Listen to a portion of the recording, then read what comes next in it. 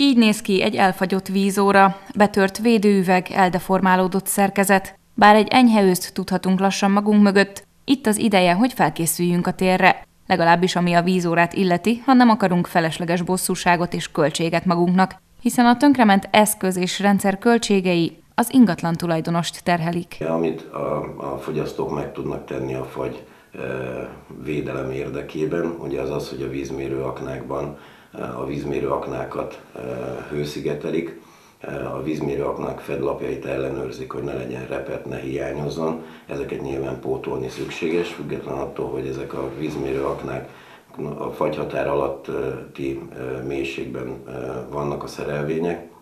Ettől függetlenül, hogyha ha nem megfelelő a fedlap kialakítás, ugye hideg le tud jutni a, a vízmérőhöz meg a szerelvényekhez. Érdemes ezért a fedlapokat is résmentesen lezárni, de a teljes aknát is lehet hőszigetelni, akár maradék hungarocellel. Az előrejelzések szerint november második felében már tartósan 1 Celsius fok köré csökken éjszaka a hőmérséklet, mínuszokra azonban csak december elején kell számítani. Fontos az is, hogy a, a kerti csapok vagy a ház oldalán lévő csapok fagytalanítása is megtörténjen.